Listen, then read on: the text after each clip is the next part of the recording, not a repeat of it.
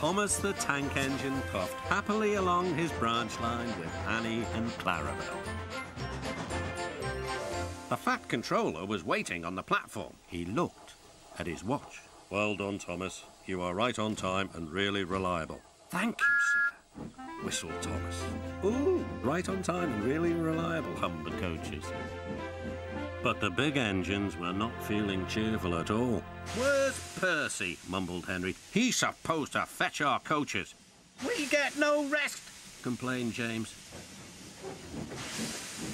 He edged angrily onto the turntable and spoke rudely to Henry. What's the matter, Henry? There's no rain today. Stop worrying and do some work instead.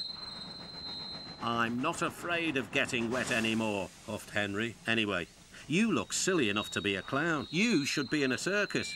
Oh, Whistle Percy, so you've heard the news. What news? grunted Gordon. About the circus. Percy, what are you talking about? The circus has arrived, explained Percy. I've been shunting special trucks. The Fat Controller needs your help too. The engine soon forgot to be tired and cross. Until it was time for the circus to leave. Then Gordon and Henry were cross all over again when James got to pull the train away.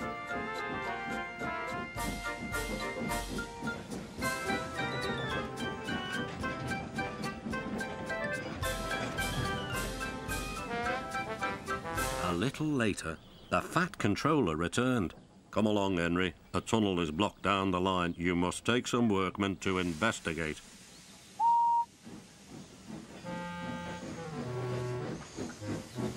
Pushing trucks, pushing trucks, grumbled Henry. They stopped outside the tunnel. The workmen went inside. It was very dark and quiet, but not for long. Help! shouted the workmen, and they ran out. We started to dig at the block, but it grunted and moved, one said. Rubbish, said the foreman. It's not rubbish, it's big and alive. We're not going in there again. Right, said the foreman. I'll ride in the truck and Henry shall push it out. Wheesh, said Henry unhappily. He had been shut in the tunnel for being afraid of the rain, but this was worse. Something big and alive was inside. Beep, beep. I don't want to go in. Neither do I, said his driver. But we must clear the line. Oh dear, oh dear, puffed Henry.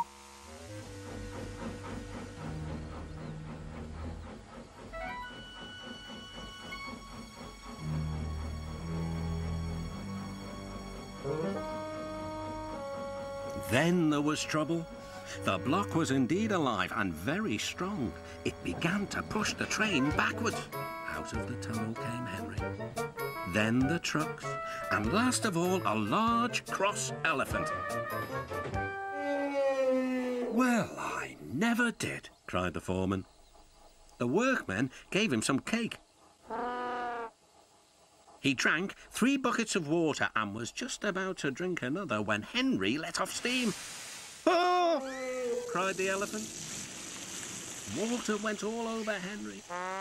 Poor Henry.